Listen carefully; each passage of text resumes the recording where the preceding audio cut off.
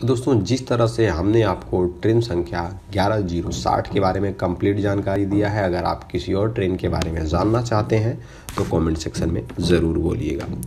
सो so, नमस्कार दोस्तों मैं विजय शंकर चौहान स्वागत करता हूँ आप सभी का इस ज्ञान गंगा यूट्यूब चैनल में। दोस्तों आज की इस वीडियो में ट्रेन संख्या ग्यारह ज़ीरो साठ छपरा गोदान एक्सप्रेस के बारे में आपको जानकारी दूँगा। जैसे कि ट्रेन के चलने की टाइमिंग क्या है ट्रेन कौन से स्टॉप पे कितना समय के लिए ठहराव लेती है किस क्लास में आप टिकट लेते हैं तो कितना किराया लगने वाला है बिल्कुल स्टेप बाय स्टेप जानकारी देने वाला हूँ।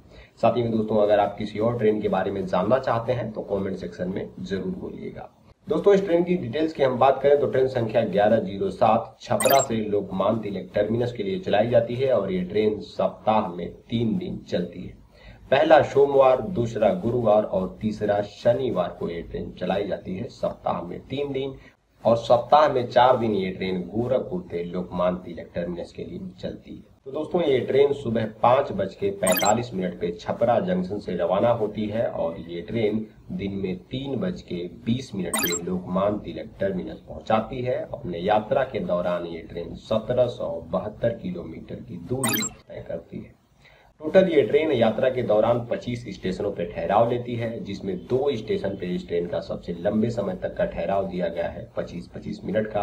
पहला जो स्टॉप होता है इस ट्रेन का भटनी जंक्शन, यहाँ पे ये ट्रेन 25 मिनट के लिए ठहराव लेती है और इस ट्रेन का इंजन बदला जाता है और दूसरा जो स्टेशन है वो है प्रयागराज जंक्शन, जहाँ पे इस ट्रेन का इंजन बदला जाता है और यहाँ पे भी ये ट्रेन 25 मिनट के लिए ठहराव लेती है। इस ट्रेन में दोस्तों, अगर हम कोच की बात करें तो यहाँ पे इस ट्रेन में टोटल 22 कोच दिए जाते हैं और जिनमें आपको two seating, sleeper, three tier, three economy और टू टीयर की सुविधा दी जाती है। इस ट्रेन में कोटा सभी प्रकार के अवेलेबल हैं। आप जिस कोटे के तहत टिकट लेना चाहें, टिकट ले सकते हैं। यहाँ पे इस ट्रेन में कैंटीन की सुविधा नहीं मिलती है और यहाँ पे दोस्तों इस ट्रेन के जो 25 स्टॉप दिए गए हैं, इन सभी स्टेशनों की जानकारी आपको मैं टाइम के साथ में दूँगा। तो इस वीडियो के लास्ट तक बने रहिए। आपका कोई सवाल या सुझाव है तो कॉमेंट सेक्शन में ज़रूर बोलिएगा। चलिए दोस्तों, देखते हैं इस ट्रेन के स्टॉप की डिटेल्स को। तो दोस्तों, छपरा गोदान अपने निर्धारित समय छपरा से सुबह पाँच बज के पैंतालीस मिनट पर रवाना होती है और यहाँ से निकलने के बाद इस ट्रेन का दो नंबर पाता है सिवान।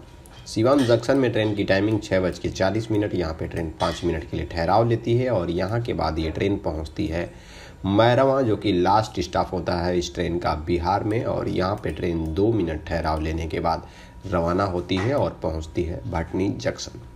भटनी जंक्शन में ट्रेन की टाइमिंग जो होती है वो सात बज के पैंतीस मिनट और यहाँ पे ये ट्रेन 25 मिनट के लिए ठहराव लेती है। 110 किलोमीटर की दूरी यहाँ तक तय की रहती है और भटनी जंक्शन में ट्रेन के जो इंजन है, उसे चेंज किए जाते हैं। यहाँ से जब ट्रेन रवाना होती है भटनी से तो पहुँचती है बेलथरा। गाड़ी की टाइमिंग आठ बज के छब्बीस मिनट और यहाँ पे ये ट्रेन दो मिनट के लिए ठहराव लेती है और फिर पहुँचती है मऊ जंक्शन। मऊ जंक्शन में ट्रेन की टाइमिंग नौ बज के दस मिनट हो जाती है और यहाँ पे ये ट्रेन दस मिनट के लिए ठहराव लेती है और बीच में दो तीन स्टॉप आते हैं छोटे छोटे जहाँ पे ये ट्रेन ठहराव नहीं लेती है, जैसे केड़ापुर इंदारा इन स्टेशनों पे ठहराव नहीं लेती है। यहाँ से निकलने के बाद इस ट्रेन का सात नंबर रास्ता है स्टॉप मोहम्मदाबाद और मोहम्मदाबाद में ट्रेन की टाइमिंग नौ बज के उनतालीस मिनट, यहाँ पे ट्रेन दो मिनट ठहराव लेती है और फिर पहुँचती है आजमगढ़ अपने आठ नंबर स्टॉप पे। यहाँ पे गाड़ी की टाइमिंग दिन में दस बज के पाँच मिनट, यहाँ पे ट्रेन पाँच मिनट ठहराव लेती है और आजमगढ़ तक ट्रेन 221 किलोमीटर की दूरी तय की रहती है। इसके बाद ये ट्रेन पहुँचती है सराय मीर गाड़ी की टाइमिंग दस बज के इक्यावन मिनट, यहाँ पे ये ट्रेन दो मिनट ठहराव लेती है और फिर यहाँ से रवाना होती है तो पहुँचती है कुरसना रोड।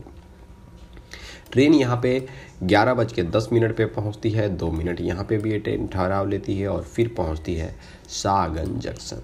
शाहगंज में ट्रेन की जो टाइमिंग है, वो 12 बजे दिन में यहाँ पे ये ट्रेन 10 मिनट ठहराव लेती है और फिर यहाँ से रवाना होती है तो पहुँचती है अपने अगले स्टॉप पे 12 नंबर, जो कि जौनपुर होता है, और गाड़ी यहाँ पे बारह बज के उनसठ मिनट पे पहुँचती है। चार मिनट यहाँ पे ठहराव लेती है और फिर यहाँ से रवाना होती है तो पहुँचती है जफराबाद जंक्शन। गाड़ी एक बज के सोलह मिनट पे पहुँचती है, यहाँ पे ये ट्रेन दो मिनट ठहराव लेती है और फिर पहुँचती है चौदह नंबर स्टॉप पे।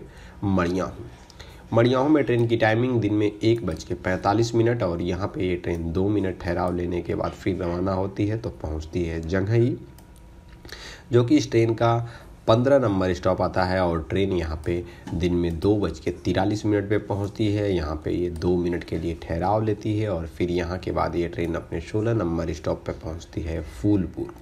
फूलपुर में गाड़ी की टाइमिंग होती है दिन में तीन बज के चौदह मिनट और यहाँ पे ये ट्रेन दो मिनट के लिए ठहराव लेती है और फिर रवाना होती है तो पहुँचती है अपने अगले स्टॉप पे प्रयागराज जंक्शन प्रयागराज जंक्शन में दोस्तों इस ट्रेन की टाइमिंग शाम चार बज के पंद्रह मिनट हो जाती है और यहाँ पे ये ट्रेन 25 मिनट के लिए फिर ठहराव लेती है और फिर यहाँ पे इस ट्रेन का इंजन बदला जाता है और फिर ये ट्रेन यहाँ से रवाना होती है। तो दोस्तों, उत्तर प्रदेश और बिहार मिला के ये ट्रेन यहाँ तक सत्रह स्टेशनों पे ठहराव ले चुकी होती है और यहाँ से जब रवाना होती है तो इस ट्रेन के लंबे लंबे स्टॉप आते हैं। अठारह नंबर ट्रेन का स्टॉप आता है सतना, जो कि ट्रेन की टाइमिंग होती है शाम को आठ बज के तीस मिनट। यहाँ पे ट्रेन पाँच मिनट ठहराव लेती है और फिर पहुँचती है जबलपुर, जो कि इस ट्रेन का उन्नीस नंबर स्टॉप है और ट्रेन यहाँ पे रात को दस बज के पचास मिनट पर पहुँचती है, दस मिनट यहाँ पे ठहराव लेती है और फिर निकल जाती है अपने सफ़र के लिए। पहुँचती है ये ट्रेन दोस्तों इटारसी जंक्शन और इटारसी में ट्रेन की टाइमिंग दो बज के पैंतीस मिनट। यहाँ पे ये ट्रेन दस मिनट के लिए ठहराव लेती है और फिर अपने सफ़र के लिए यहाँ से रवाना होती है और यहाँ पे इस ट्रेन को दूसरा दिन स्टार्ट होता है, क्योंकि ये ट्रेन जब जबलपुर से रवाना होती है तो ट्रेन की टाइमिंग रात को दस बज के पचास मिनट, दस मिनट ठहराव लेती है। ग्यारह बजे वहाँ से रवाना होती है और ट्रेन दो बज के पैंतीस मिनट पे इटारती जंक्शन में पहुँचती है तो इस ट्रेन को दूसरा दिन स्टार्ट हो जाता है, क्योंकि गाड़ी को बारह बज चुका होता है। जब ट्रेन इटारसी से रवाना होती है तो पहुँचती है भूसावल। गाड़ी की टाइमिंग सात बज के पैंतीस मिनट सुबह सुबह और यहाँ पे ये ट्रेन पाँच मिनट ठहराव लेती है और फिर पहुँचती है नासिक रोड। नासिक रोड में गाड़ी की टाइमिंग होती है ग्यारह बज के दो मिनट दिन में और यहाँ पे ये ट्रेन तीन मिनट के लिए ठहराव लेती है। बीच में इस ट्रेन का मनमाड़ भी स्टॉप आता है, लेकिन ये ट्रेन ठहराव भी लेती है और नहीं ठहराव लेती है, क्योंकि जब इस ट्रेन का सिग्नल क्लियर होता है तो मनमाड़ में ठहराव नहीं लेती है और पहुँचती है कल्याण। कल्याण में गाड़ी की टाइमिंग हो जाती है दिन में दो बज के सात मिनट, यहाँ पे ट्रेन तीन मिनट के लिए ठहराव लेती है और यहाँ पे यात्री काफ़ी मात्रा में उतरते हैं और फिर ये ट्रेन पहुँचती है थाने, जो कि इस ट्रेन का चौबीस नंबर स्टॉप होता है और ट्रेन यहाँ पे तीन मिनट ठहराव लेती है और थाने आते आते ट्रेन तकरीबन सेवेंटी परसेंट खाली हो जाती है। इसके बाद इस ट्रेन का लास्ट स्टॉप आता है लोकमान तिलक टर्मिनस और ट्रेन दिन में तीन बज के बीस मिनट पर फाइनली पहुँचती है। सत्रह सौ बहत्तर किलोमीटर की दूरी ये ट्रेन तय करती है। तो दोस्तों, जिस तरह से हमने आपको ट्रेन संख्या ग्यारह ज़ीरो साठ के बारे में कंप्लीट जानकारी दिया है, अगर आप किसी और ट्रेन के बारे में जानना चाहते हैं तो कमेंट सेक्शन में ज़रूर बोलिएगा। फिर मिलते हैं एक ऐसी इंटरेस्टिंग वीडियो के साथ, तब तक के लिए जय हिंद, वंदे मातरम।